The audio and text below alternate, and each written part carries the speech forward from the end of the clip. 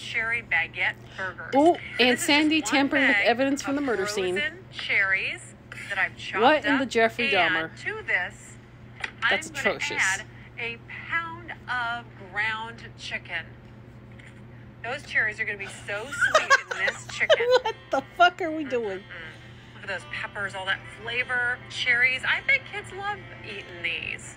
What the? F- no, kids don't love this. My nephew Bryce would. I got to tell you, anything with cherries in it, right Your nephew his alley. Bryce or And also, this is has to be in therapy now. vacation and you want to cook. This is a great topping. Two thirds of a cup of mayonnaise goes into just a bowl because to this, I am going to add two tablespoons of cherry preserves.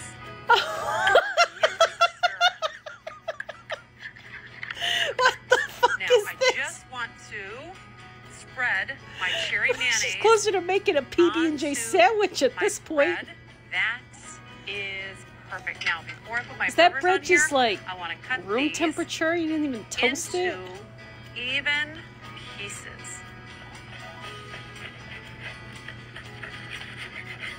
A little bit of lettuce.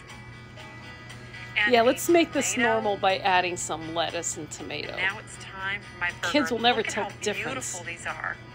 Very rustic, very fun. Rustic? only a Why? Because you went hunting and gathering for berries to make this. with the theme.